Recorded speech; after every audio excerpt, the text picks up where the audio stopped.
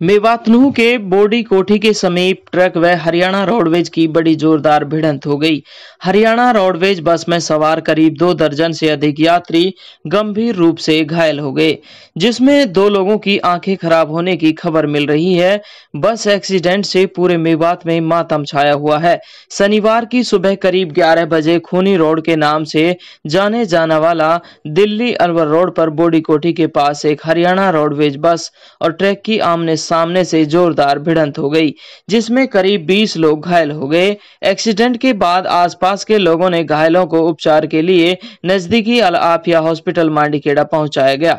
कुछ लोगों की हालत को गंभीर देखते हुए उन्हें नल्लड़ मेडिकल कॉलेज रेफर कर दिया गया। कुछ लोगों को दिल्ली अलवर रोहतक के लिए भी रेफर कर दिया गया है।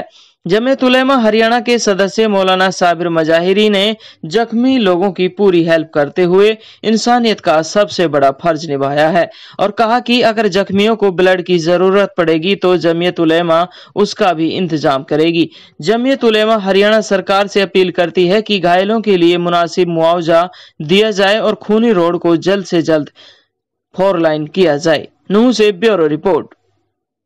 मुझे लगभग एक घंटा पहले जानकारी मिली कि बोडी कोठी के नज़दीक में एक रोडवेज़ बस का एक्सीडेंट हुआ और उसमें जानकारी मिली कि 20 से 25 लोग जख्मी भी हुए हैं, बहुत दुख हुआ। और मुझे एक साथी ने जानकारी दी कि मौलाना साबिर मजाहिरी कुछ साथियों को लेकर के मेडिकल कॉलेज नलड़ पहुँचे हैं। मैं तुरंत यहाँ पे पहुँचा और मैंने देखा मौलाना साबिर मजाहिरी की जो मेहनत रही और जो लोग जख्मी थे, उनके परिजनों से मैं मिला और डॉक्टर से बात की। कुछ लोगों को यहाँ से रेफ़र कर दिया गया है अन्य हॉस्पिटल्स में, जैसे कि Rohtak, Delhi, Alwar.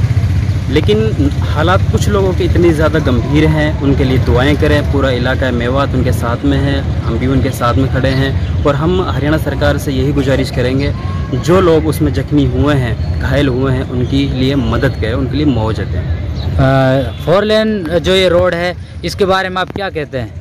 Four lane road तो नहीं है ये नेशनल हाईवे होते हुए भी ये सिंगल रोड है और इसके लिए हमारी साल 2018 से मैंने इसकी मैंने खुद ने अपना हाथ से इस पर खूनी रोड इसका नाम दिया। लेकिन सरकार नहीं सुनेगी और हम लोगों ने काफ़ी इसके लिए आवाज़ उठाई है और हम भी आज भी ये कहते हैं कि इस रोड को जब तक फोर लेन नहीं बनाया जाएगा, ये हादसा ऐसे ही होते रहेंगे। इलाका मेवात में। आज बहुत बड़ा हादसा हुआ है। हरियाणा रोडवेज़ के एक्सीडेंट होने की वजह से जिसमें दर्जनों लोग जख्मी हो गए। और हालात इतने नाजुक थे, बड़े चोटिल और बड़े जख्मी हुए हैं।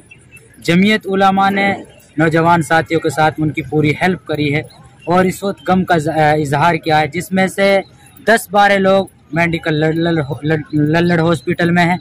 जो डॉक्टर पूरी देख देख में अच्छा उनका इलाज कर रहे हैं, माशाल्लाह। और कुछ मांडी खेड़ा में हैं।